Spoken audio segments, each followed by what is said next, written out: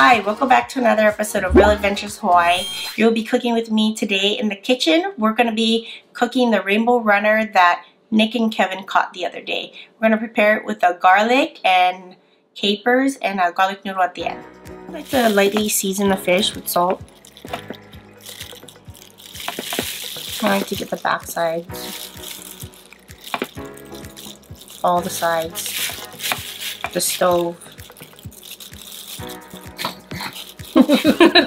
everywhere. get, all, get all over stove. Perfect. Okay. And then a little pepper.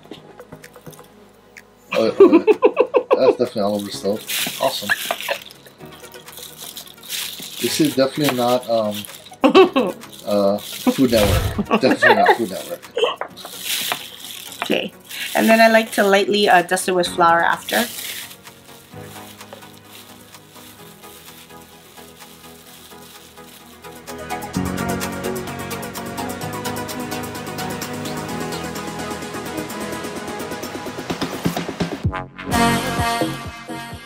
So we're to heat up the pan first on a medium heat. I have mine on like 5.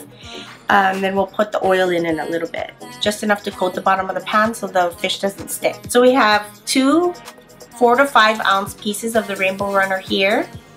We have one lemon here.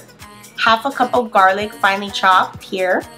Just a bottle of white wine from Costco. And we also have a 2 ounce jar of capers. Uh, we probably won't use all two ounces. It's kind of at your discretion how much you want to use.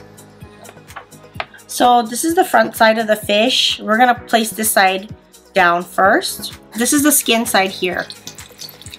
Okay. I like to place it in the middle of the pan.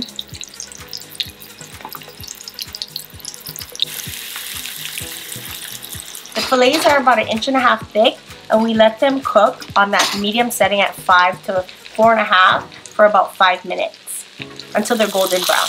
And then we flipped it over.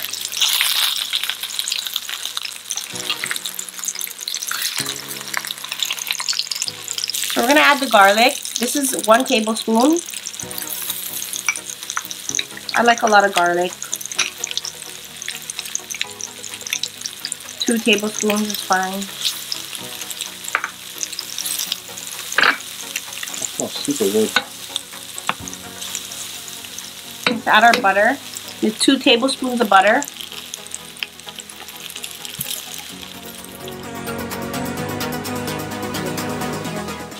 So we're at that medium setting still. You're going to want to turn on the heat a little bit because you don't want burnt garlic, okay? So I turned it about, we're at three and a half now, out of 10 on the burner. So we're just going to spoon some of this garlic butter on the fish here.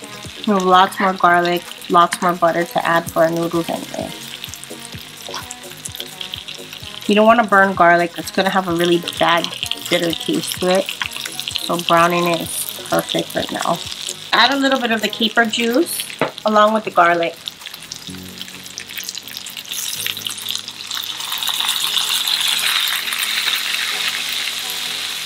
I like to fry my capers a little bit. So use only a very little bit of the, of the bottle. A very little bit here. Maybe about a quarter of a two ounce bottle. This is all to taste. If you like a lot of capers, you can go ahead and add more. I'm going to take out the fish. It's been 10 minutes total. Hold on, hold on. So flaky.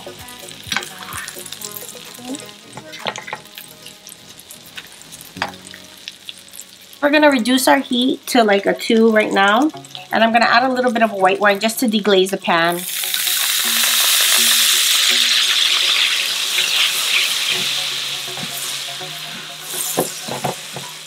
So as long as you cook it off, it shouldn't have any alcohol taste or anything like that.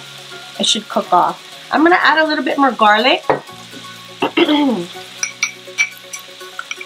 for our pasta. So I'm going to add the rest of the garlic that we didn't use for the fish. Like I said, I only used half a cup of finely chopped garlic, okay? So I'm going to add This is uh, just half a pound of noodles cooked, so a regular package, just broken in half and cooked exactly that much. We're gonna throw it into our garlic butter capers.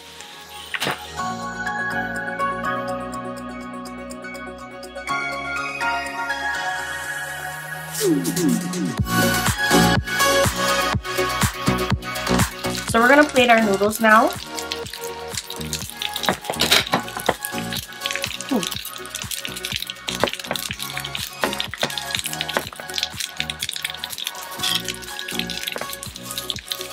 So we have our lemon here. We're gonna just put a little squirt of lemon on our fish.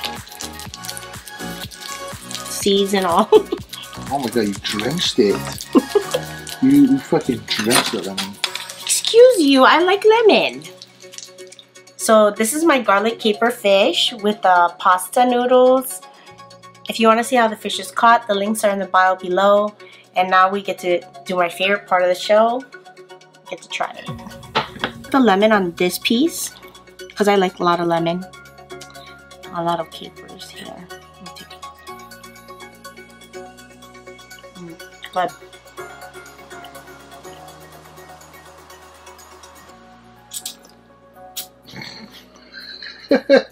you have to put that much noodles in your mouth at one bite. Don't, really don't draw all over the other piece. Our piece is for me. Um, Thank you for joining me today. As always, tight lines, safe fishing, and I'll see you in the kitchen next time. Okay, can we now?